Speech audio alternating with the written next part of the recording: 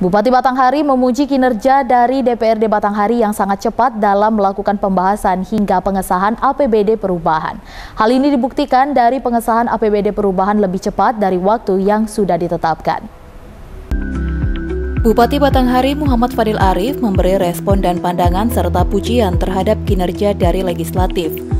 Pujian ini didasari dengan kinerja dari DPRD Batanghari yang begitu cepat menyelesaikan rangkaian pembahasan APBD perubahan dan mengesahkan rancangan peraturan daerah lainnya.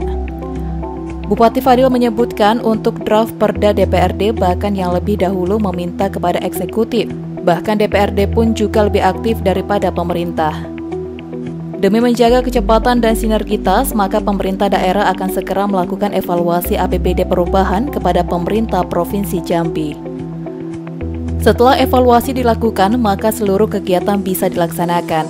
Ke depannya, pemerintah Batanghari juga akan lebih cepat dalam menyelesaikan kegiatan yang tertuang dalam perubahan. Membahas ini dengan cepat, maraton, sampai malam nanti.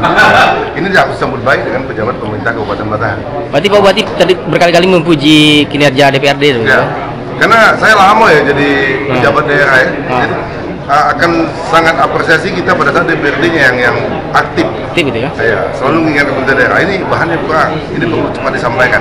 Biasanya kan nunggu nih, Ah. defensif ya. Iya. Nah, ini ini sinergi ini sudah sudah terjalin. Sudah terjalin, Bagaimana ya. kita memanfaatkan menjadi hal yang produktif bagi pembangunan Kabupaten Batanghari. Joni Firdaus, Cek TV, melaporkan.